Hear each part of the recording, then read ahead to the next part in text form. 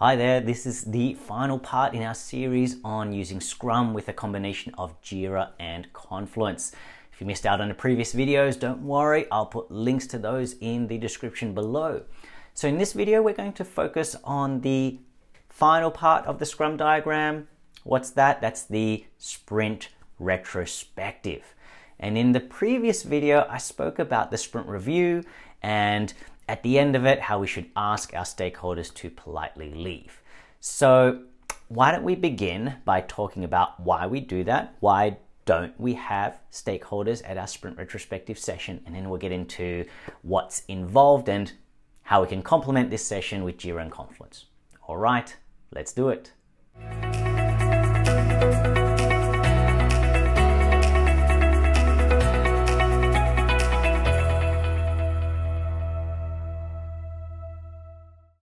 So now the room just has the Scrum team. Those stakeholders have left. And why is that? Well, we want the sprint retrospective to be an open and honest session.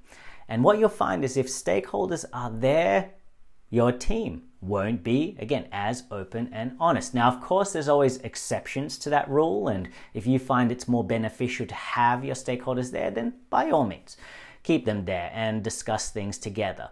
But in most cases, you'll find that you'll reap more rewards by just limiting it to the Scrum team. Now, why do we want the sprint retrospective to be open and honest? Well, it's going to be a frank discussion about the team's quality and effectiveness. And so, what that means is they're going to be discussing where they're lacking, where they need to get better, what needs to be improved.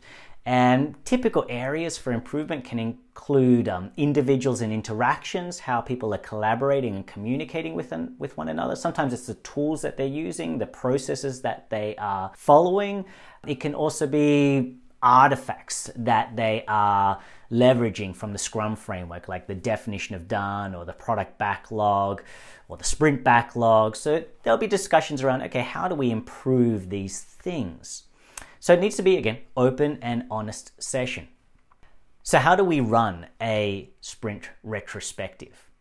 Well, it can be done in a number of ways. And if you want some inspiration, you can just go to Google and type in sprint retrospective techniques, and you'll find plenty of options out there. Uh, if you would like to check out our blog on AxisAgile, we've got a few techniques there. I'll put a link to it in the description below. I'm going to just focus on what we can leverage from Jira and Confluence to help with this sprint retrospective session. So let's head over to Jira and have a look at what we can utilize.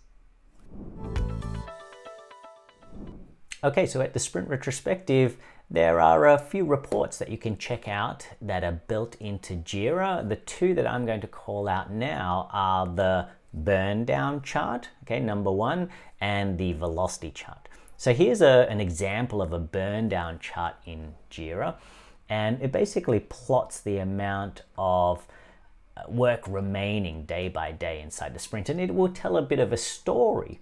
And with that story, you can discuss with the team what what occurred, okay, and why did it happen? So, for example, here you can see that the team had a big step up in work remaining a few days into it. So, we can say, what happened there? They probably added their estimates late or added in a few unplanned items, but at least they managed to get through the work by the end of the sprint there. Uh, most teams, uh, you'll probably find that they don't get through all the work. Sometimes there's still some remaining. Again, a really good conversation started to say, hey, what happened there? Why didn't we finish off our sprint plan? Uh, how can we get better at making sure we do finish it off? All right, so the sprint uh, burn down chart's a good one to have a look at. And also the velocity chart. So the velocity chart over here will show you the committed number of points and the actual completed points inside the sprint. Again, a lot of teams don't always get through all that they committed and it's good to have a discussion about what went on there. So you could see that this team, the gray bar, they predicted they would get through that many points, about 35, but they only got through about 10. Uh, so the velocity chart is a another good one to check out. Now, finally, you can use your uh, sprint report.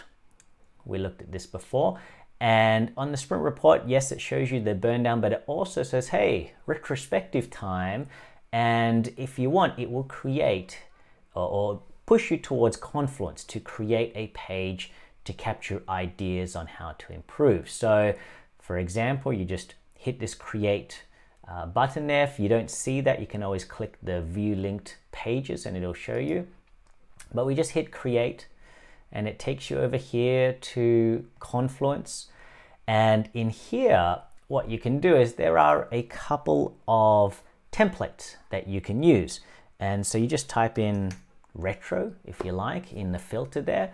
And you can see we've got the four L's retrospective or the, the standard retrospective. So you can go check out those two templates, but it's your, your, your basic retrospective where here we're going to capture what should we start doing, what should we stop doing, and what should we keep doing. So your general uh, questions that you might ask and, and get the team to think about at a retrospective and then very importantly at the end come up with a few action items that you're going to bring into the next sprint to help continuously improve the team and their processes.